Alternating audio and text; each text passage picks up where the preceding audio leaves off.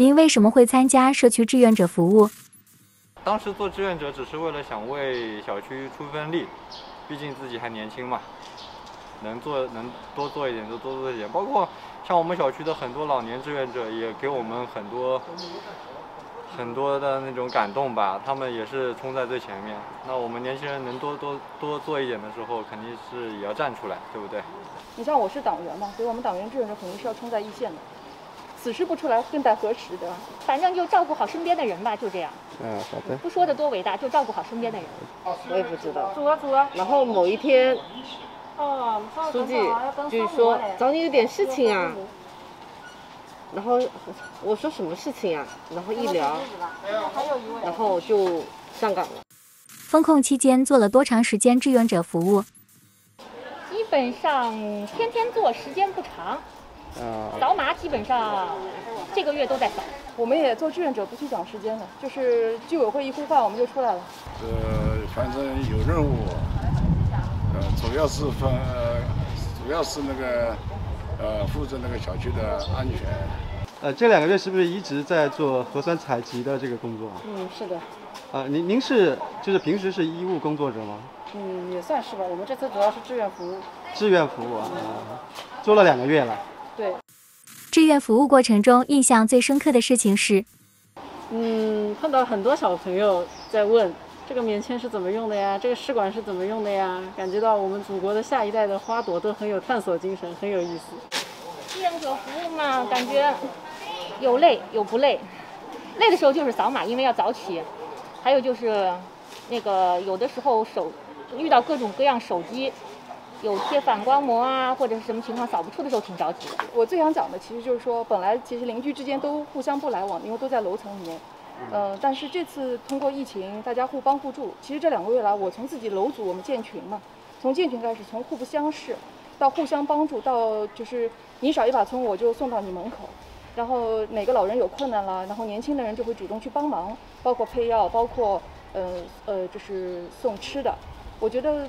整个小区，包括我们楼组，都是非常有爱心的，这个让我很感动，就是让我感觉到人和人之间的这种亲情啊，一种有一种这个爱心，呃和善良，能够得通过这次疫情，通过这次大家的这个被封控的这个困难，然后体现出来。我们有一种重回小时候那种邻里关系的感觉，之前大家都不认识，对吧？现在搞到现封到现在，大家都像家人一样了。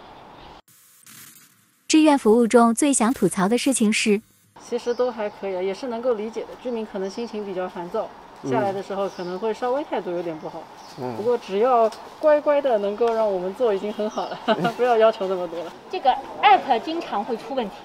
啊。有的时候数据上传，它就一直转圈转圈转圈，然后前几次我不扫码，轮到别人扫码的时候，这个 app 竟然死机，这个是最麻烦的，因为。如果你扫码失败，那么影响了前面的结果也不好，是影响了后面的结果也不好。如果数据出问题，整个小区的那个重提核再要核酸，大家都不满意。对，对吧？两个月的时间，没有看到特别大的改善。风控的时候，就是在提级管理的时候，呃，要求做做到满足要求吧，就做到，比如说足不出户，或者说不聚集，那相对有些有些居民就意识还没有到这种位。到这种，有时候会下楼聚集，然后和巡逻队的去做一些捉迷藏也好，躲猫猫也好，他们来了，我们就走的这种游击战。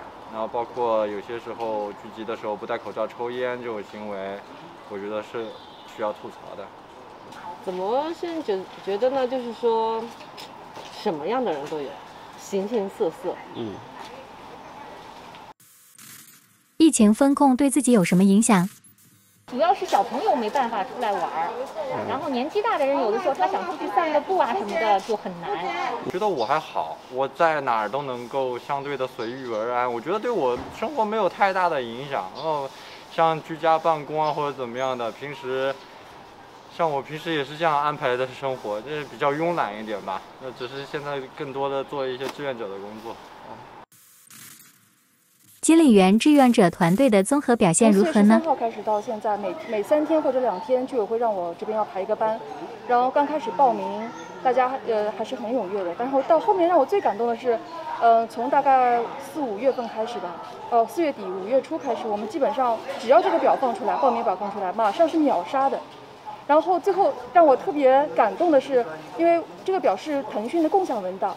然后我后来发现我还没做表呢，我可能空空表刚刚上去，我还没在群里放出来，志愿者群里放出来的时候，已经有很多年轻的志愿者已经偷偷的在那儿填写了。所以等我放上去以后，就基本上没有几个空格要大家填的了。所以这个真的是让我们非常非常感动的。你像我们这边社区里的毛柳老师，还有像这个好几个老师，他们呃即使没有报上名，但只要有空，他们就会下来。那我这边有时候看到我会给他加，就是某某加谁加谁，有时候会加几个加号。呃，但有时候我是看不到的，那么他们其实下来帮忙就帮忙了，也没有报上名，所以这些都是自发的，就是志愿者自发要为社区在做工作，这个真的让我很感动，这是很无私奉献的一种精神。有什么想对上海这座城市说的话吗？呃，应该说疫情早点结束，然后呢，大家的生活呢会能够恢复到原有的状态。